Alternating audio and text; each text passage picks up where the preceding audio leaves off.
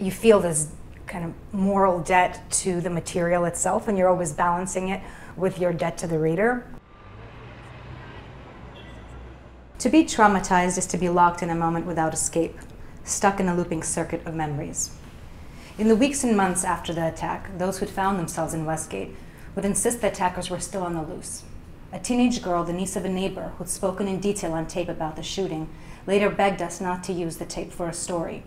She was terrified that the shooters, who were by this time dead, would recognize her voice and hunt her down. Has writing always been really important to you? Is it how you process things? I mean, for me, like, I feel like being a, a writer is so much about like almost like being a medium for all these voices because my work isn't um, voicey in the traditional sense, in that I kind of like that classic omniscient narrator, but there's a lot of voices in the work, and um, you're always just um, you're you're like an intermediary for all these voices that you've heard. This is my little paperweight. It sits in my desk. It's um, calavera, and my friend Katya um, brought it from Mexico for me, and I call it. His name is Hamlet, but it's it just makes me think about how um, you know writing is sort of a path to the other side, to this reality that's so sort of metaphysical, and um, you're you know you're channeler, you're a medium for it. So I, just, I like the image of the the Day of the Dead and kind of communing with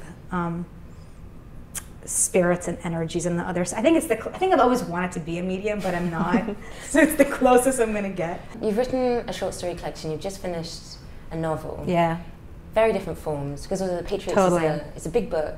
Mhm. What's the um, do you find yourself drawn to one or the other as a form? I mean, as a reader, I love short stories. Um, I think as a writer, I actually prefer the novel. Mm. Um, you know, I think like when we have this model in the 20th century of this narrow kind of um, modernism where you're at an emotional arm's length from the reader and you're supposed to see around the narrator and everything's kind of written in this um, almost monotone.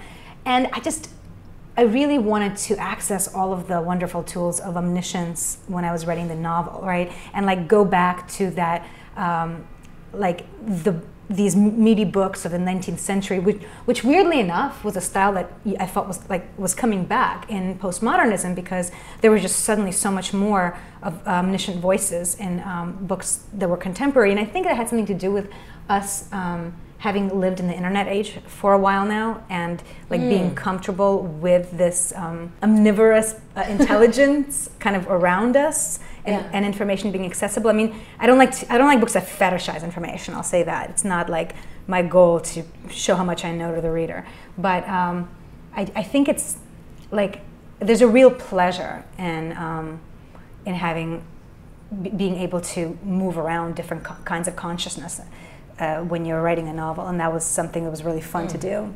Brilliant. Well, thank you so much Thank for you. coming.